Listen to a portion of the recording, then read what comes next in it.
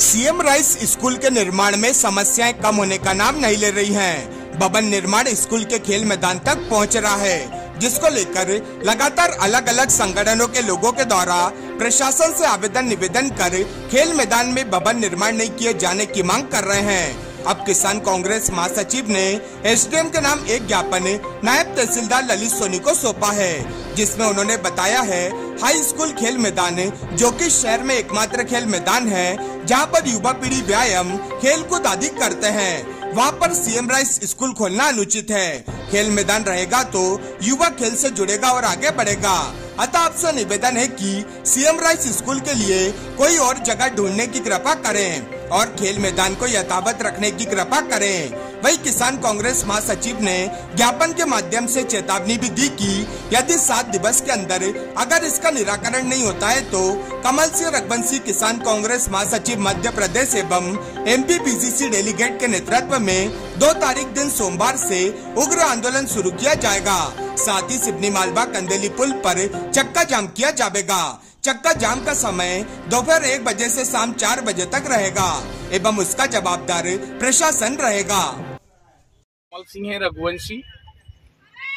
मेरे छोटे छोटे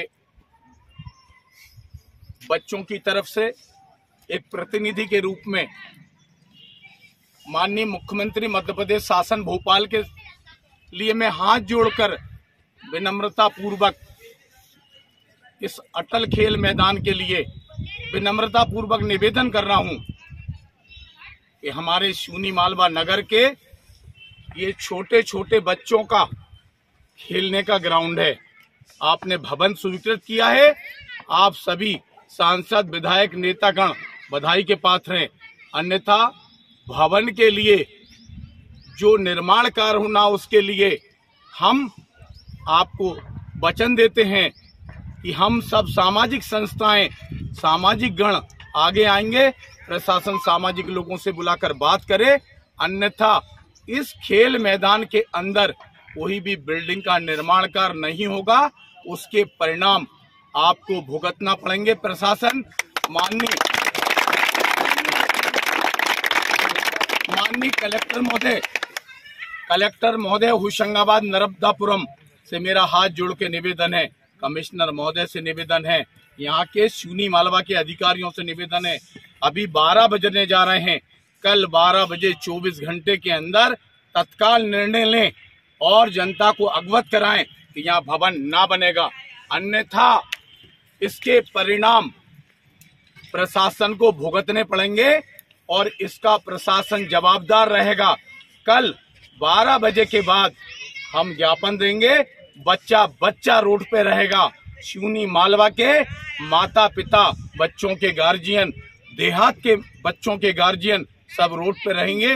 मुख्यमंत्री जी, मेरी हाथ जोड़ के बार बार निवेदन कर, पैर पड़, नाक घिस, इस काम को यहाँ से हटवा देना। यहाँ बिल्डिंग नहीं बनेगी नहीं बनेगी नहीं बनेगी। बच्चों, नहीं बनेगी? नहीं बनेगी नहीं बनेगी नहीं बनेगी नहीं बनेगी हम सब हम सब हम सब एक हम सब एक हर हर नारवाजे क्या मांग को लेकर आज ज्ञापन दिया है? देखिए सिवनी मालवा की धरोहर अटल खेल मैदान। उसमें सीएम राइस स्कूल बिल्डिंग बनाई जा रही है। यह हमारे बच्चों के साथ खिलवाड़ है। हमारे बच्चे नन्हे मुन्ने और नौजवान युवा जो क्रिकेट प्रेमी हैं, वॉलीबॉल प्रेमी हैं, वो कहाँ खेलने जाएँगे? मेरा माननीय शिवराज सिंह जी, माननीय मुख्यमंत्री जी से मेरा निवेदन है कि आपने भवन दिया, उसके लिए आप बधाई के पात्र हैं। लेकिन अटल खेल मैदान की अगर छेड़गानी करी और वहाँ बिल्डिंग का कार्य, निर्माण कार्य किया तो उसको बिल्कुल नहीं होने देंगे। ये बच्चों के भविष्य के साथ खिलवाड़ नहीं होने देंगे। हमें निर्माण तो चाहिए, भवन भी चाहिए, बिल्डिंग भी चाहिए क्योंकि बहुत अच्छी चीज़ आई है, मगर उसका स्थान परिवर्तित करें, खेल अटल मैदान में नहीं बनेगा।